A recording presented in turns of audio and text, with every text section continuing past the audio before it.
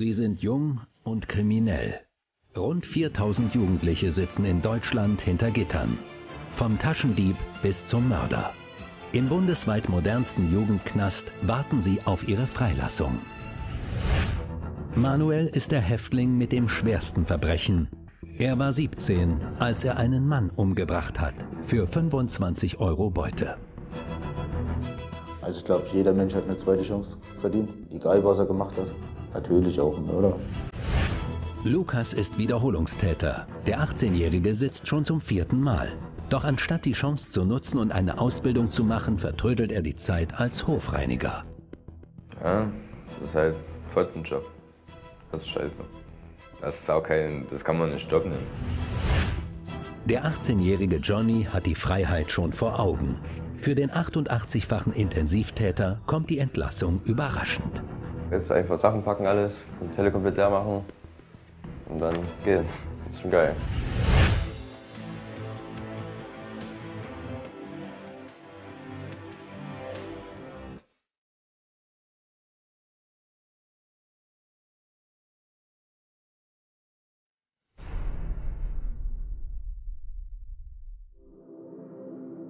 Die Jugendstrafanstalt Arnstadt in Thüringen.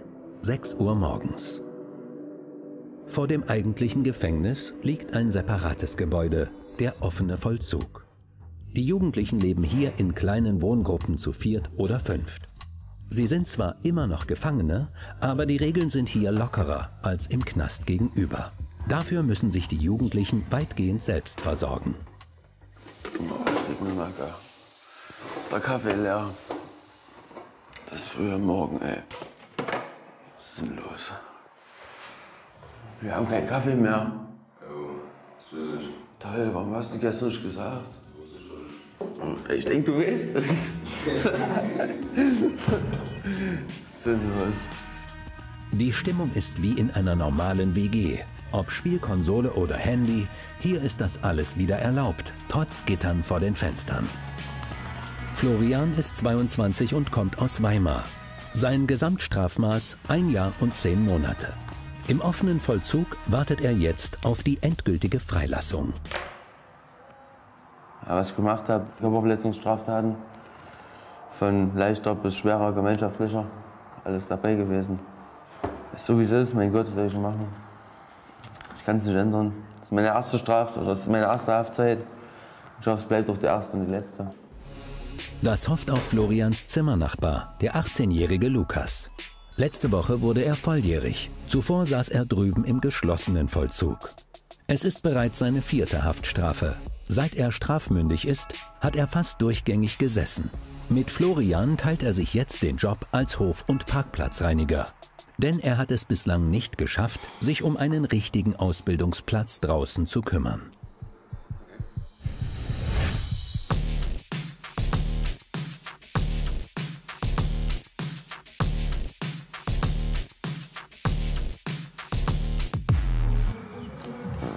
Ich gleich Zähne putzen, zieh mich an, dann gehen wir los. Das ist immer noch nicht gemacht. Ich putze die mal erst, ich putze nicht gleich die Zähne hoch, dann zwei Kippen. Das ist doch sinnlos. Im geschlossenen Vollzug hatte Lukas einen Ausbildungsplatz in der Knastküche, bis er dort rausflog, weil er ständig gegen die Hausordnung verstieß. Im offenen Vollzug gibt es weniger Regeln. Hier lernt er jetzt, selbstständig zu sein. Naja, dann machen wir unser Frühstück, dann setzen wir uns hin, essen, machen ungefähr eine halbe Stunde Pause. Ja, rauchen dann noch eine und unterhalten uns noch. Ja, ganz normal eigentlich. Früher war ich kein guter Junge, ich habe Schule geschwänzt, gekifft. Dann irgendwann kam ich in die falschen Kreise, da habe ich dann Drogen verkauft. Ja, dann kam es auf die schiefe Bahn, da gab es da mal eine Schlägerei, dann habe ich Auto gefunden, damit bin ich dann schwarz rumgefahren. Und jetzt dann bin ich eingefahren. Auto gefunden heißt eigentlich gestohlen. Auch sein Vater sitzt im Knast, seit neun Jahren, wegen versuchten Mordes. Darum ist Lukas bei seiner Mutter aufgewachsen. Dass auch ihr Sohn zum Straftäter wurde, war für sie ein Schock. Meine Mutter fand es halt nicht toll, dass ich im Knast bin, weil ich jetzt schon das vierte Mal war. Aber ich meine, klar, irgendwo tut es mir auch weh, aber im Endeffekt habe ich das Scheiße gebaut, ich muss dafür gerade stehen. Ja. Die ersten ein, zwei Mal hat sie auch geweint beim Besuch und dann er hat sich halt dran gewöhnt. Wie Lukas sitzen zurzeit knapp 4000 Jugendliche in deutschen Gefängnissen, etwa jeder zehnte davon im offenen Vollzug. Neben den 280 Plätzen im geschlossenen Vollzug gibt es in der JSA Arnstadt dafür 20 Plätze. Eine Vollzugskonferenz aus Anstaltsmitarbeitern legt fest, ob und wie lange die Jugendlichen in den offenen Vollzug gehen. In der Regel bleiben sie zwischen vier Wochen und einem halben Jahr. Es ist eine Übergangsstation als Vorbereitung auf ein freies Leben. Darum sollen die Jugendlichen auch draußen eine Arbeit finden oder eine Ausbildung machen. Allerdings müssen sie sich selbst darum kümmern, sonst haben sie, wie Lukas, nichts in der Hand, wenn sie rauskommen. Hinter den Knastmauern, Hafthaus 3, Zelle 039. Hier sitzt Johnny seine Strafe ab. Der 18-Jährige ist Intensivtäter. Seine Akten füllen mehr als 80 Anklagen.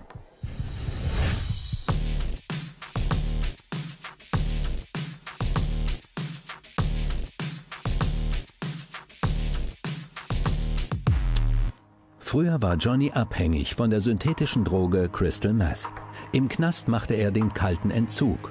Trotzdem lässt ihn die Droge noch immer nicht los. Ja, es nervt halt schon, dass man jetzt halt nicht an Drogen wirklich rankommt schon scheiße, aber manchmal denkt man schon noch drüber nach, nochmal vielleicht EMA, dann hört man auf.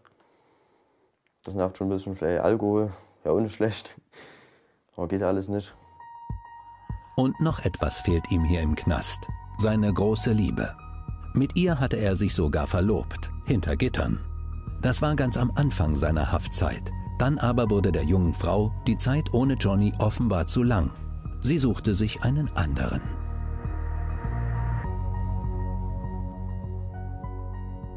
Ich habe mit meiner Schwester telefoniert gehabt.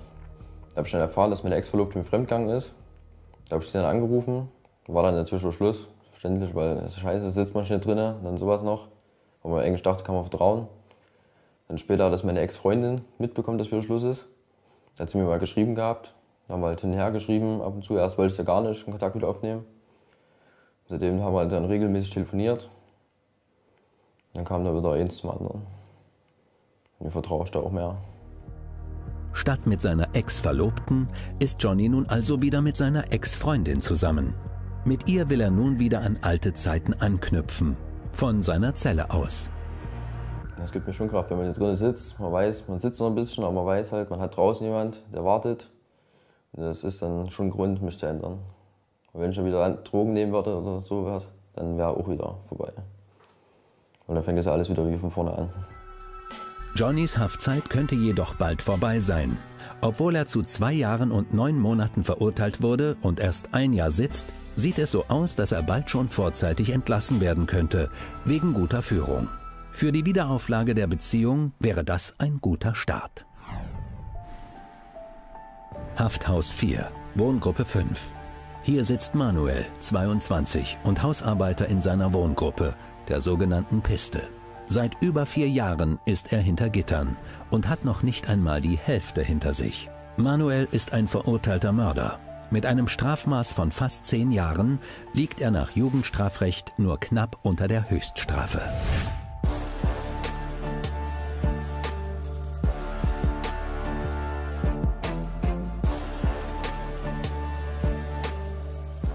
Seine kriminelle Laufbahn begann schon mit 13 als Ladendieb.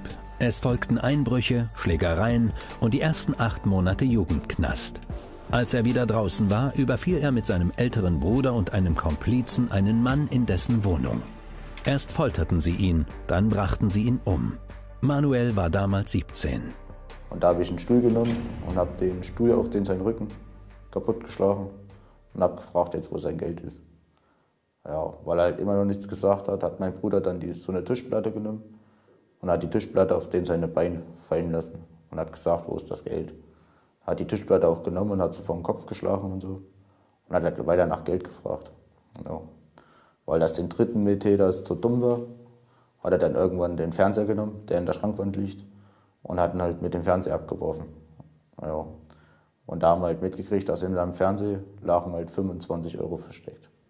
Ja, die haben uns halt eingesteckt und sind erstmal verschwunden und haben uns davon halt was zu saufen gekauft. Das Opfer blieb hilflos sich selbst überlassen. Die Mordkommission ermittelte später, dass der Mann noch knapp 17 Stunden gelebt hatte. Zeit, die ungenutzt verstrich. Wegen der Kaltblütigkeit der Tat verhängte das Gericht hohe Haftstrafen. Manuel landete im Jugendknast, sein älterer Bruder im Erwachsenenvollzug. Ja, der dritte Mittäter, der ist äh, rausgekommen auf Bewährung durch Knochenkrebs. Da war er haftuntauglich. Der ist aber vor zwei Jahren ist er gestorben. Bei der Chemotherapie ist er nicht mehr aufgestanden. Ja, ich habe damals neun Jahre gekriegt, weil ich halt noch Jugendlicher war. Mein Bruder hat elf Jahre gekriegt als Erwachsener. Ja. ja. Und seitdem hocke ich dann hier. Manuel hatte schon vor der Tat immer wieder Ärger wegen Körperverletzungsdelikten. Von Mal zu Mal sank dabei seine Hemmschwelle, bis er in einen regelrechten Blutrausch kam.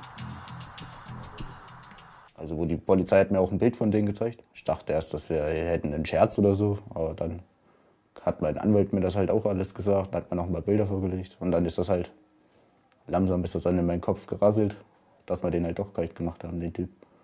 Nach und nach will man das eigentlich schon rückgängig machen, aber kann man halt nicht ändern. Auch auf dem Gericht habe ich gesagt, es tut mir leid und alles. Das hat die Richterin auch in die Urteile mit reingezogen und alles. Deswegen hatte ich nur neun Jahre gekriegt. Eigentlich wollten sie mir mehr geben, aber weil ich mich halt entschuldigt habe und alles, bei denen seiner Tochter und so, haben sie das berücksichtigt und sind runter auf neun Jahre gegangen.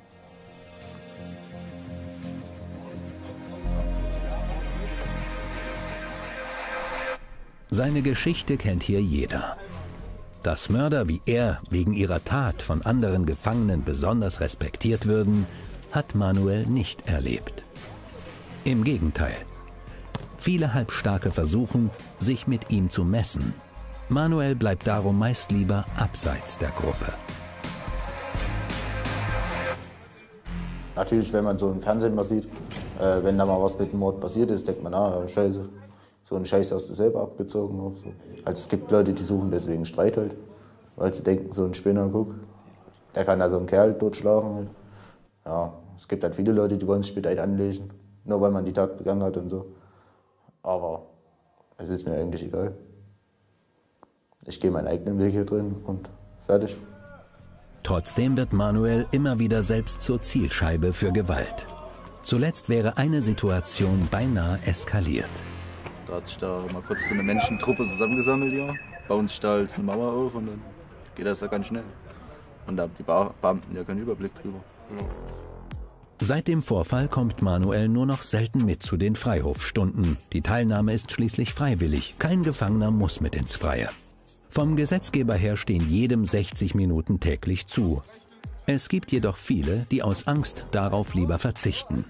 Marco Bauersfeld ist Wachbeamter im Knast. Für gefährliche Situationen hat er von Berufswegen ein Gespür. Wir haben hier immer so ca. 66 Gefangene im Hafthaus und wenn die natürlich alle auf den Freihof gehen, das heißt, da ist alles konzentriert auf einen Punkt und da kann es schon mal zu Situationen, zu Auseinandersetzungen kommen, zu Wortgefechten kommen. Das geht los beim Fußballspiel, wenn da irgendwo mal keine Einigkeit in irgendeinem Spielzug zustande kommt, dann ist es ganz schnell, da haben sie ganz schnell mal eine Situation, wo auch ganz schnell mal eine Körperverletzung daraus werden kann. Und deswegen ist es für uns wichtig, dass wir da immer genau hinschauen. Mord und Totschlag. Im Jugendknast sind diese Delikte seltener als im Erwachsenenvollzug. Die bundesweite Gesamtzahl aller minderjährigen Tatverdächtigen bei Tötungsverbrechen beträgt knapp 5 Prozent.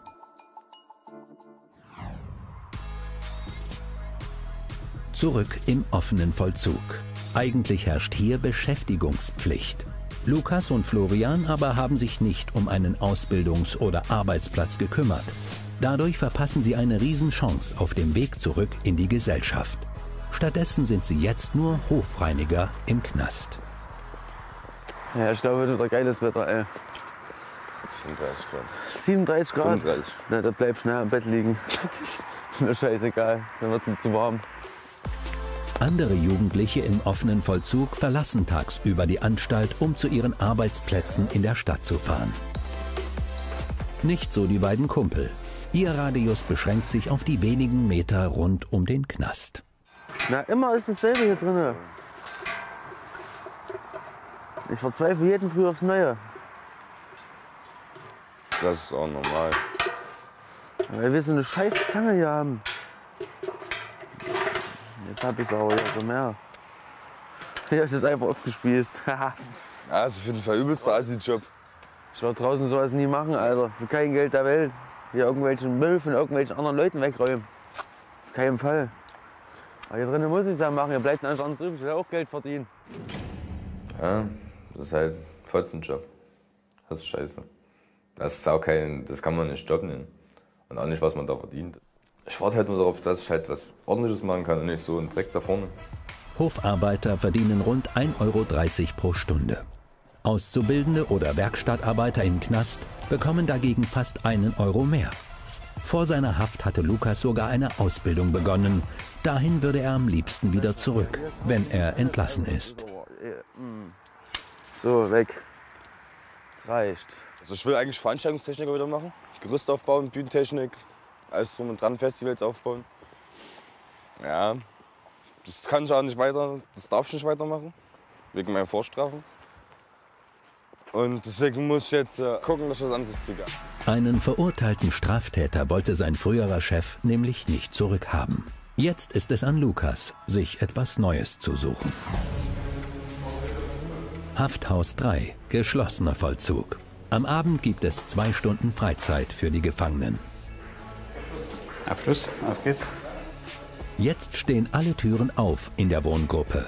Die Jugendlichen nutzen die Zeit auf ihre Weise beim gemeinsamen Kochen oder Spielen. Von dem wachhabenden Beamten Marco Bauersfeld ist auch jetzt wieder Aufmerksamkeit gefordert. Meistens bleibt es friedlich, denn die Jugendlichen wissen, was sie an ihrer Freizeit haben.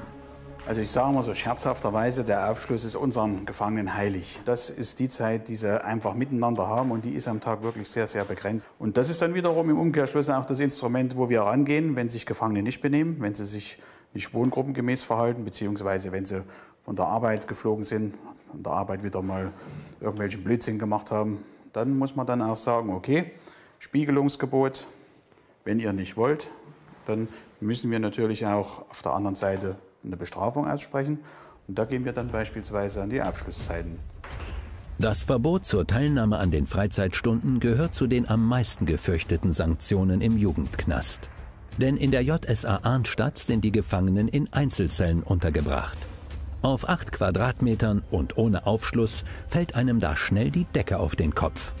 Der 18-jährige Johnny kennt das Gefühl. Fast 14 Monate schon ist er hier im Knast. Jetzt steht seine Entlassung kurz bevor. Die Leute kommen und gehen halt. Man sieht oft hier, zum Beispiel jetzt auf Piste, die Leute, die am Anfang, wo ich runterkam, da waren, es ist eigentlich gar keiner mehr da, es ist alles Neue. Jetzt, die jetzt da sind, gehen auch fast alle wieder. Aber übernächste Woche kann ich auch gehen. Von daher ist es nicht mehr so schlimm.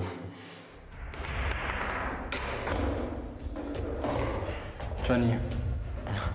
Lange genug Zeit zum Üben gehabt. Johnnys vorzeitige Entlassung war für ihn selbst eine Überraschung. Eigentlich hätte er noch mindestens anderthalb Jahre sitzen müssen, doch das Gericht hat den Rest seiner Strafe zur Bewährung ausgesetzt. So bleibt Johnny weitere drei Jahre nach der Haft noch unter staatlicher Aufsicht durch seinen Bewährungshelfer. Ja, ich freue mich auf jeden Fall. Allein schon daran zu denken, übernächste Woche Sachen zu packen und dann raus hier, nicht nochmal wiederkommen, ist schon geil. Freizeit hat im Knast vor allem eine soziale Funktion. Dass die Gefangenen sich untereinander austauschen, ist von Seiten der Anstalt gewollt. Denn dauerhafte Isolation ist schädlich für die Resozialisierung. Freizeitveranstaltungen, Projekte, Sportveranstaltungen, wo Gefangene in Gemeinschaft eine gewisse Kameradschaft entwickeln müssen. Das halte ich für ganz, ganz dienlich und ganz, ganz förderlich, gerade auf die Gesamtproblematik, dass wir ja resozialisieren wollen. Und dafür als Instrument halte ich diesen Aufschluss bzw.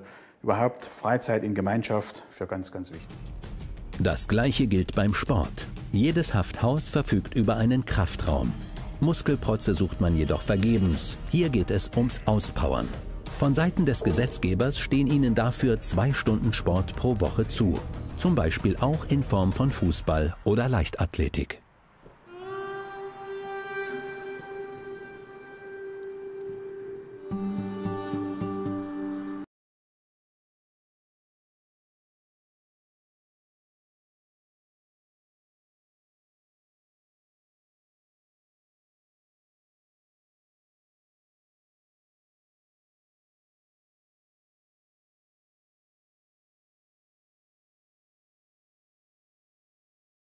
Morgen.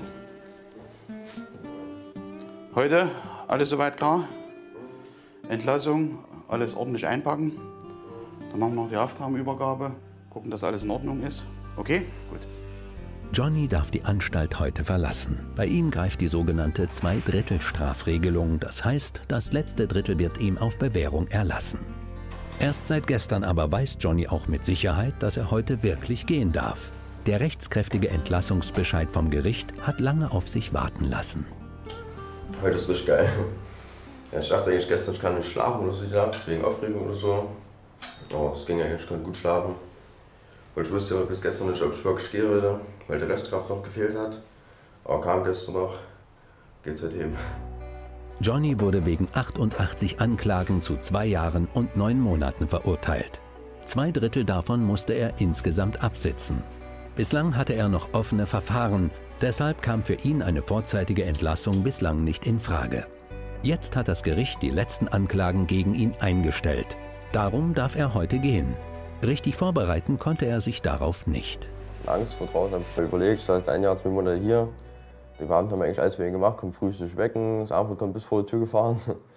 Sonst, wenn du ein Problem hast, schreibst du einen Antrag, kommt Schuldenberatung, alles her. Draußen musst du dich ja komplett alleine um alles kümmern. Man gewöhnt sich auch irgendwie dran. Und so schlecht ist es ja hier auch nicht.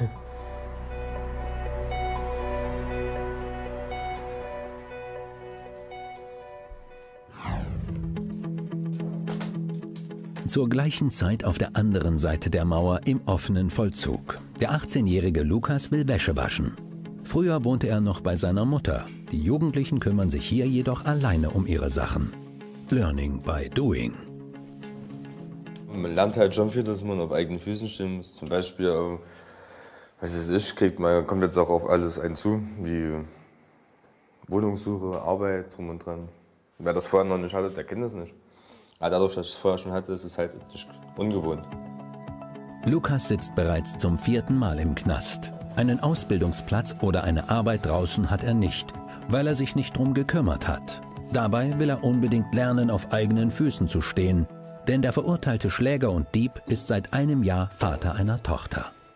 Also ich kann mich schon noch daran erinnern, wo ich das erste Mal angefangen habe, war im Kreis. Ja, es ist halt ungewohnt, so ein ganz kleines Lebewesen auf dem Arm zu haben. Ja. War halt schon ein schöner Moment. Ja. Ist auch was anderes und da denkt man gar nicht drüber nach, irgendwie Scheiße zu bauen oder so. Wenn man dann weiß, okay, jetzt hast du was, was Vorbild sein muss, wo du drauf aufpassen musst. Aber irgendwie hat es auch nicht ganz funktioniert. Kurz nachdem Lukas seine Freundin kennengelernt hatte, wurde sie schwanger. Die Geburt ihres Kindes konnte er gerade noch in Freiheit erleben. Im Knast sah er die beiden nur selten. Jetzt, gut zwei Monate später im offenen Vollzug, kann er mehrmals pro Woche raus und sich mit ihnen ein Familienleben aufbauen. Na, ich glaube schon deshalb, dass ich nicht mehr herkomme, weil ich jetzt halt Kind habe, Frau, halt eigene Wohnung und Arbeit. Und ich glaube, da wird auf jeden Fall ein geregelter Alltag sein. Mit Arbeiten gehen, abends nach Hause kommen, essen, Fernsehen gucken vielleicht noch ein bisschen und dann ab ins Bett. Anders geht's nicht. Am früh aufstehen, wieder zur Arbeit gehen, Wochenende mal zur Familie, also zur Mutti oder so. Grillen gehen, keine Ahnung. Also so stelle ich mir es auf jeden Fall vor. Bislang hat Lukas noch keine Idee, wie er seine Familie ernähren will. Statt sich darum zu kümmern, macht er im Knast lieber eine einfache Arbeit, die ihm aber keinerlei Perspektive bietet. Na, ich stelle mir das so ein, dass ich halt dann noch über die Woche was zu tun habe und nicht gleich alles sofort auf einmal mache. Dass ich halt so Schritt für Schritt arbeite keine Ahnung, mal hier vielleicht eine halbe Stunde ein komplettes Feld, dann drinnen mal was. Sodass das halt abwechslungsreich ist, dass halt auch nicht langweilig wird. Mindestens 90 Tage muss Lukas noch bleiben. Erst dann wird sich entscheiden, wie es nach seiner vierten Haftzeit weitergeht. Hafthaus 3. Hier darf der 18-jährige Johnny heute gehen. Nach 14 Monaten hinter Gittern. Und? Aufgeregt? Ja, sehr aufgeregt. Nervös, gell? Wie geht's denn dann weiter in Freiheit? Dann erstmal nach Erfurt fahren, Klamotten und sowas noch holen. Ja, und dann arbeitsmäßig? Wie ist so der Plan? Ab 1.10. fange ich an. Ausbildung? Nee, erstmal noch nicht. Äh, ich muss jetzt Bewerbung schreiben. Fange dann wahrscheinlich, wenn es klappt, eine Ausbildung noch an, als Schlosser dieses Jahr. Naja, wenn Sie sich so verhalten, wie Sie sich hier benommen haben und Ihr Potenzial nutzen, was Sie sich hier erarbeitet haben, dann sehe ich mal, haben Sie eine gute Chance draußen. Also rechne ich Ihnen eine gute Chance aus. Finger weg von Drogen und dann denke ich mal, dann geht es in die richtige Richtung, so wie sie es wollen. Ja, als der Johnny hier ankam, das war natürlich für ihn auch ein langer Weg hier bei uns und teilweise auch ein harter Weg. Er hatte gerade so im Anfangsstadium, als er in die Jugendstrafanstalt kam, doch damit zu kämpfen, zum einen mit Entzugserscheinungen, zum anderen war er doch sehr labil.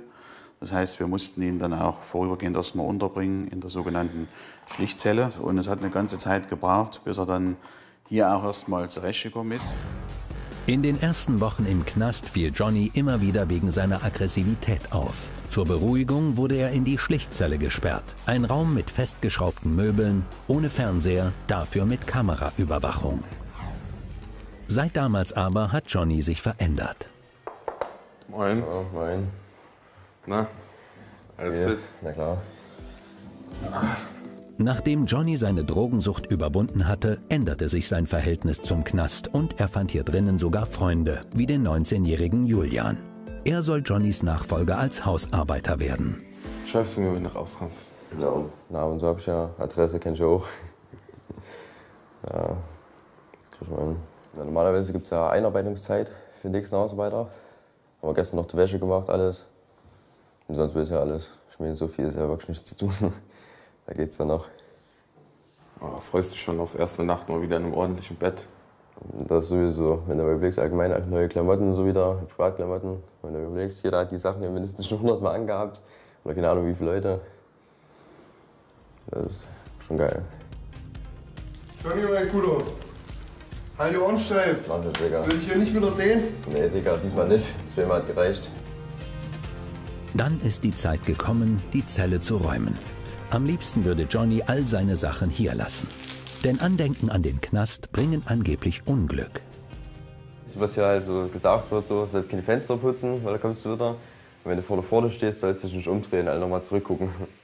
Das sollte man nicht machen, das sollte man irgendwie wiederkommen. Aber naja, glaub nicht so dran. Auf den heutigen Tag hat sich Johnny lange gefreut. Mit seinem alten Leben will er endgültig abschließen. In Gedanken ist er bereits mit einem Fuß draußen. Noch zwei Stunden, dann ist es soweit. Neuanfang.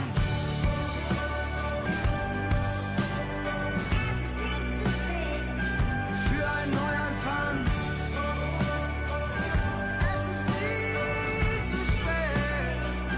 Für einen Neuanfang. Ja, freuen tue ich mich auf jeden Fall schon.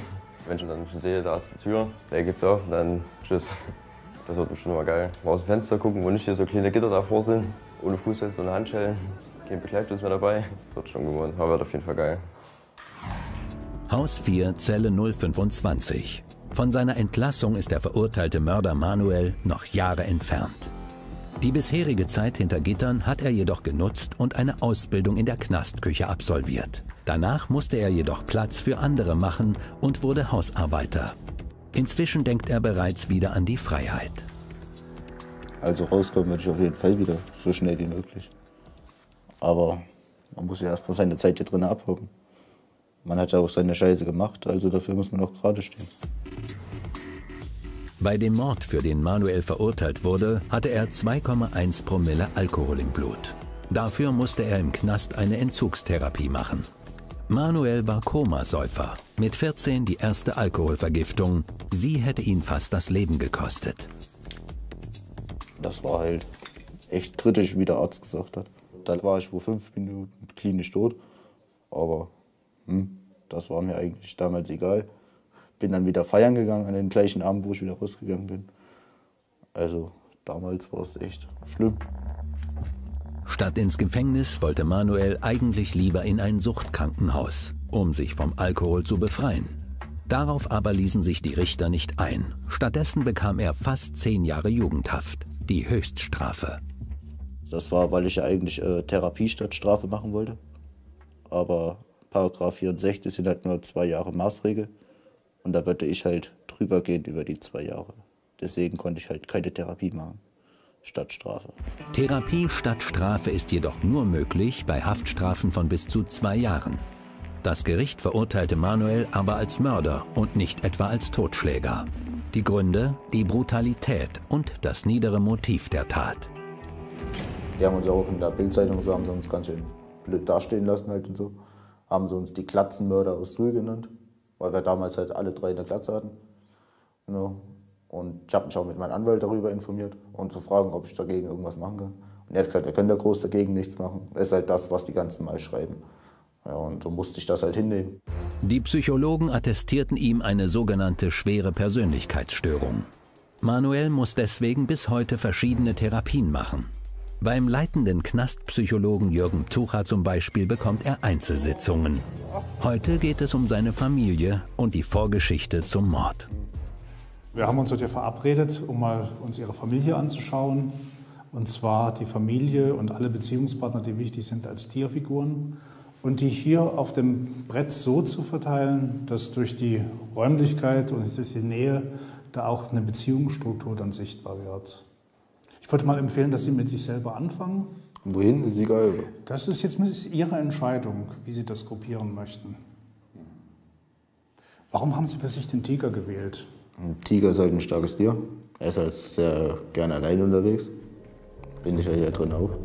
Während der gesamten Sitzung meidet Manuel den Blickkontakt mit dem Psychologen.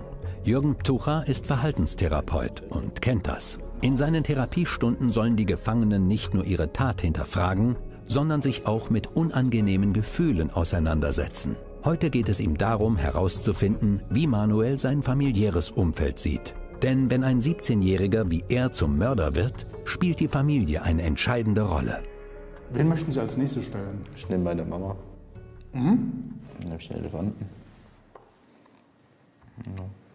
Weil meine Mutter zur Zeit macht ja alles alleine. Meine Eltern haben sie jetzt getrennt. Mhm. Genau. Meine Geschwister sind jetzt bei meiner Mutter. Und der Elefant ist ja sehr äh, familiebezogen. Mhm. Hat sehr mit dem Rudel zu tun und alles. Wo ich noch draußen war, hatte ich ja auch so eine, äh, sollte ich so eine Aggressionstherapie machen halt. Und da hatte ich ja auch mit so einem Psychologen zu tun. Und der hat mir halt diese Frage auch gestellt. Aber ich sollte es halt aufmalen hier mit äh, Buntstiften und so ein Scheiß. Und da habe ich den halt vor den Kopf geworfen, halt, was das der Scheiß soll. Ich bin doch hier nicht im Kindergarten und bin gegangen. Aber wo ich halt gesehen habe, dass die das hier drin halt auch machen. Also finde ich, dass das halt doch so dazugehört und so. Natürlich fängt es, zunächst mal spannend, welches Tier wird für wen gewählt, weil Tiere haben natürlich immer eine bestimmte symbolische Bedeutung. Stark wie ein Löwe, feige wie eine Schlange, friedlich wie eine Taube. Das sind ja klassische symbolische Bedeutungen. Und dann natürlich auch solche unbewussten Sachen, dass die Blickrichtung zum Beispiel, dass diese ganze mütterliche Seite ihn nicht ansieht, das hat er ja unbewusst gestellt, das war ja nicht bewusst. Aber wir glauben eben, dass es keine Zufälle gibt. Wenn man sich die Familie so anschaut, da stehen aber ganz schön viel, viele Tiere, die sich eigentlich in Wirklichkeit nicht verstehen. Katz Ja, und eigentlich Maus, nicht. Katz und Hund. Aber es passt halt alles. Irgendwie. Mach mal mit meinem großen Bruder wieder. Das ist der Mittäter, ja? Das ist mein Mithilfe. Ja, genau. Einer davon. Ich nehme den Hai. Es hatte zurzeit keiner Kontakt zu denen. Manuel ist ein schwieriger Patient. Auf emotionaler Ebene scheint er kaum erreichbar. Seine Mordtat gehört außerdem zu den härtesten Fällen, mit denen es der Gefängnistherapeut im Jugendknast zu tun hat.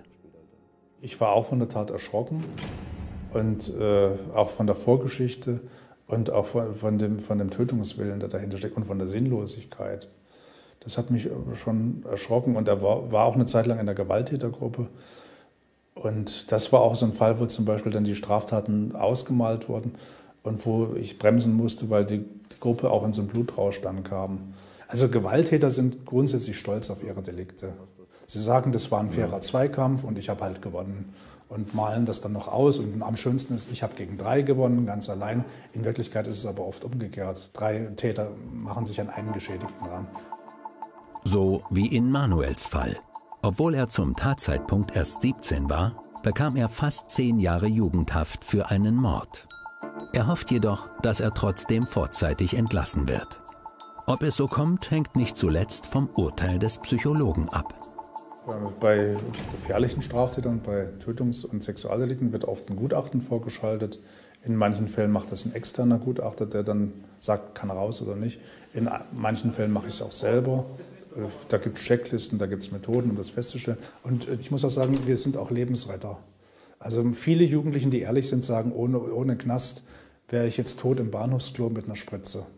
Ihr habt mich vor der Drogensucht, äh, ich wäre ein Drogentoter, wenn ich jetzt nicht in den Knast gekommen wäre. Oder ich hätte mich totgesoffen, wenn ich jetzt nicht in den Knast gekommen wäre. Wir retten eigentlich auch oft Leben. Wir schützen die Leute eine Zeit lang vor sich selber und wir schützen die Öffentlichkeit eine Zeit lang. Wir schaffen einen Schutzraum, in dem Therapie erst möglich wird. Für Manuel ist die Haft in erster Linie eine Strafe. Ob sie auch eine Chance für ihn ist, wird sich zeigen, wenn er wieder rauskommt. Noch aber hat er fast fünf Jahre vor sich. Also ich glaube, jeder Mensch hat eine zweite Chance verdient. Egal, was er gemacht hat. Natürlich auch ein Mörder. Abgehakt ist es bestimmt nicht. Das bleibt auch weiterhin, auch wenn ich aus dem Knast rauskomme, bleibt das bestimmt ein Teil äh, von meinem Leben. Weil ich ja damit immer wieder mal konfrontiert werde. Arbeitsgeber, äh, Bewährungshelfer und so. Das werde ich ja bestimmt alles kriegen. Ich werde auch meine verschiedenen Auflagen kriegen nach dem Knast. Und das wird immer ein Teil von mir bleiben. Also ganz abhaken kann ich die Sache bestimmt nicht. Im Haus 3 endet dagegen heute eine Haftzeit. Johnny und sein Kumpel Julian haben sich zu einer letzten Zigarette zurückgezogen. Im Gespräch dreht sich alles um Johnnys baldige Freiheit. Julian hat noch sechs Monate vor sich. Das ist das Schlimmste hier, ja. Wenn man sich gut mit jemandem versteht und dann geht er vor einem und man muss dann noch Ewigkeiten warten und dann kommen wieder neue. Und wer weiß, ob man sich mit denen versteht, so. So, ich würde jetzt gerne die Haft haben. Übernahme machen mit Ihnen. Ja, machen wir. So, schauen wir mal. So, als erstes Ihre Habe. Die Wäsche ist vollzählig im Korb, ja? Ja, Gewischt haben. Sie? Ja, sauber ist es. Weil er lange Zeit als labil und sogar suizidgefährdet galt, bekam Johnny die einzige Doppelzelle der Wohngruppe, zusammen mit einem Gefangenen, der aber längst entlassen wurde. Johnny durfte bleiben. Die geräumige Zelle will er jetzt an Julian vererben, seinen Nachfolger als Hausarbeiter. Alles soweit okay. Sehr vorbildlich. Okay, dann können wir da eintragen, keine Mängel. Dann bekomme ich noch eine Unterschrift von Ihnen. Und dann haben Sie das schon mal abgeschlossen. Als Johnny vor über einem Jahr in die Anstalt kam, eckte er wegen jeder Kleinigkeit an. Vor allem, weil er sich nicht sagen lassen wollte.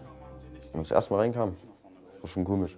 Weil ich wusste ja noch nicht, man hat ja von draußen gehört immer, wie schlimm ein Knast sein soll. Hier, was wir aus dem Fernsehen kennen, ja, es gibt noch Brot und Wasser. Aber das hier kann man schon ein Hotel nennen, ja.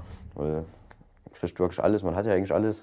Der Anstalt lässt sich auch was einfallen. Wir mit den Therapien alles, was wir machen können. Ja, auch Dicker.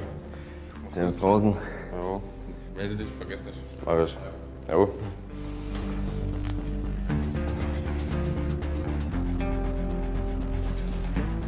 So, das letzte Mal, ja? Gucken Sie doch mal. Drehen Sie schon mal raus. Die Wohngruppe. Ein letzter Blick, auf geht's. Nicht nochmal.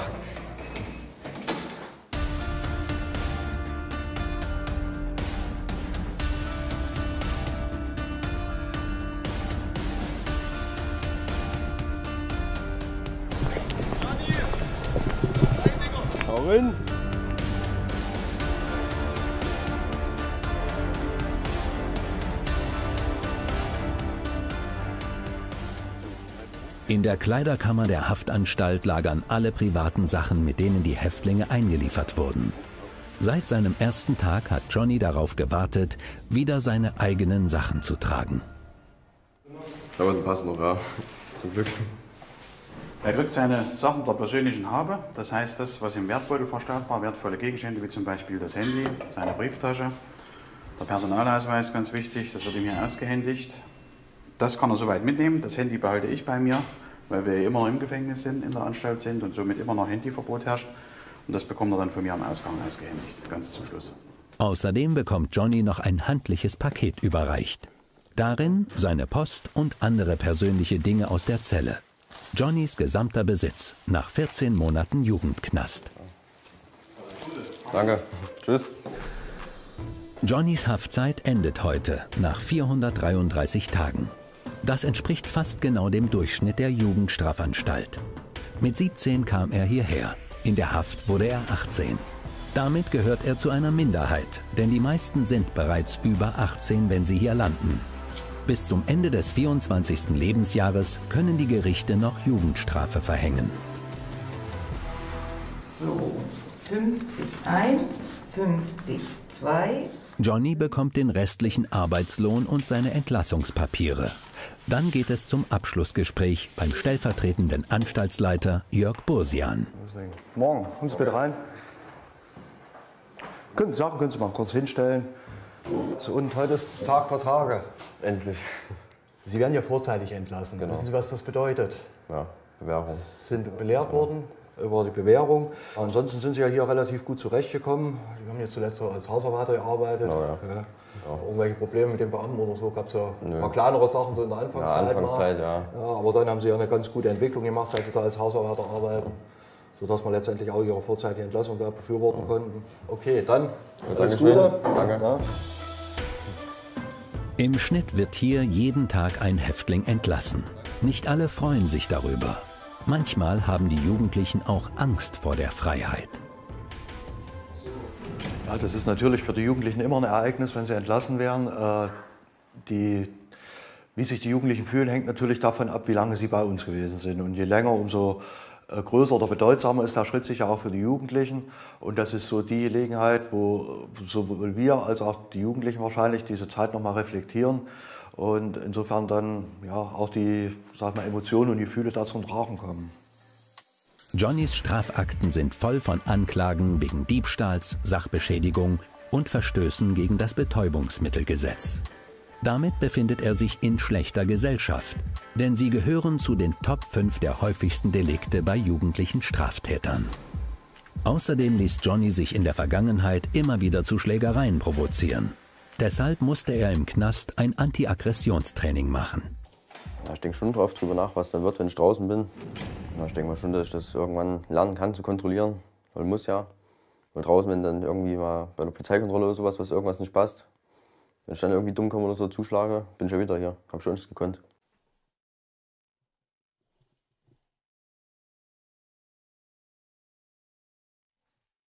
Äh, geht schon die Düse irgendwie, ja. Aber freue mich schon richtig jetzt gleich raus.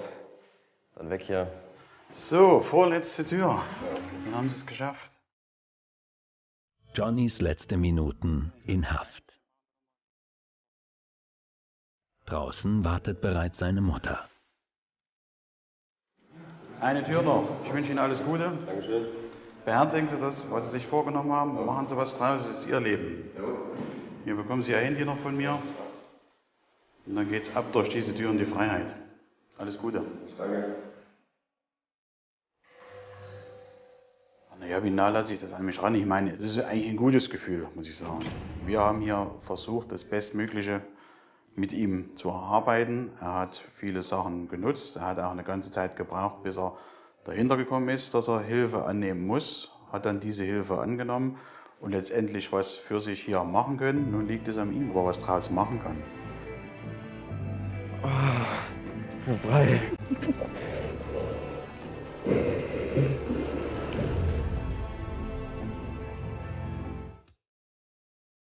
Nach 433 Tagen Gefängnis ist Johnny frei. Trotz aller Enttäuschungen hat seine Mutter immer zu ihm gehalten. Bei ihr wird er ab heute auch wieder wohnen. Ich finde also in meinen Worten, ich finde es sau cool, dass er wieder da ist. Bisschen Angst vor der Zukunft, wie sich es gestaltet. Aber ich denke, wir kriegen das in den Griff. Ich weiß, wir kriegen das in den Griff. Er muss mit meiner Hilfe lernen, jetzt draußen zurechtzukommen. Ansonsten gibt es einen Tritt im Arsch. Mir geht's gerade richtig gut. Ich hätte nicht gedacht, dass es so schön wird. Aber es ist richtig geil. Erste Kind wieder in Freiheit, ohne Fußfessel, ohne Handstellen, ohne Beamten. Plan dann ab 1.10. noch eine Lehrstelle jetzt. Dann fange ich eine Lehrstelle an. Und dann muss ich das alles nicht mehr sehen. Auf Johnny wartet jetzt eine Menge Arbeit. Noch heute muss er sich mit seiner neuen Adresse anmelden. Dann zum Bewährungshelfer, zur Sucht- und zur Schuldnerberatung. Seine Vergangenheit lässt ihn nicht so schnell wieder los. Seine Zukunft hat gerade erst begonnen.